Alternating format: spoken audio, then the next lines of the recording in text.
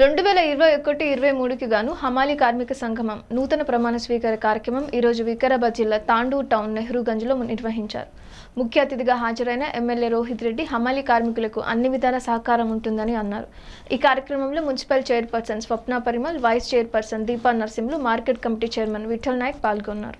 రావాల్సిందిగా కోరుచున్నాం ఇరవై మూడు సంవత్సరమునకు గాను ఏకగ్రీవకముగా ఎన్నుకోబడినాను.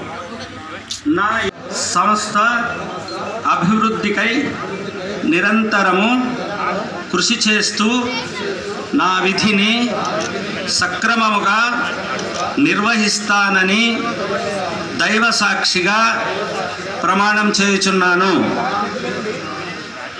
థ్యాంక్ యూ సహాయ కార్యదర్శిగా రెండు వేల ఒకటి రెండు వేల ఇరవై మూడు సంవత్సరమునకు గాను ఏకగ్రీవముగా ఎన్నుకోబడినాను.